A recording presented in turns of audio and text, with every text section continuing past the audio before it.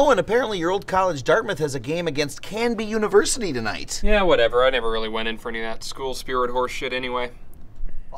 There he is, Percy. There's that frog-brained Dartmouth man. We heard there was one of your ilk here. Canby's going to lick you good tonight. Uh, what? you are a Dartmouth man, are you not? That haven for troglodytes, buried in the dank New Hampshire woods like some sort of forgotten sanitarium. Uh, back in our college days, we used to kidnap your undergrads and hold them rump side north, trembling and trouserless from the edge of their hall of languages until they defecated their own dangling faces from fear. All right. Scrub a dub dub. You'll never get the Dartmouth filth out of your fingernails. Can you guys leave me alone? Why, that sort of antisocial attitude would never be allowed in the Canby Men's Club. Come, Finster, let's show him the Canby Shake. Don't. Harumph, harumph, diddly da, diddly day, ha ha ha ha. Fee, fi, fo, fum, twiddle the diddle, tap on the bum, squat low and grasp a fist for blue and gold, now we kiss. Well, what do you think? Do your dicks have to be out?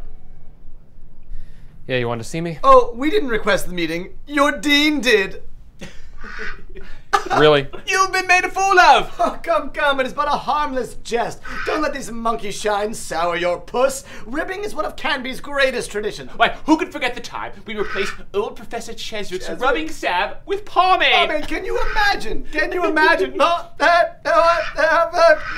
Twixt the bogs of Shenandoah and the freezing Everglades sits our hollowed alma mater atop an Indian mass grave. Their warrior souls feed us as we toss the old pigskin. We hear them chanting from the depths of hell. Canby win, win, win.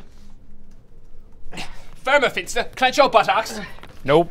Ah, the Dartmouth boy has come to challenge Canby's best men in a grappling match. To the floor with you. We'll see who's the greater cocksmith. Not so fast, Finster. We must warm up first. Where do you keep your oiled boy? Or what? No matter. We have our own. Hermes!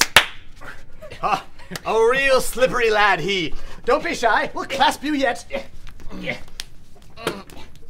And father said I would never be man enough for the trading floor.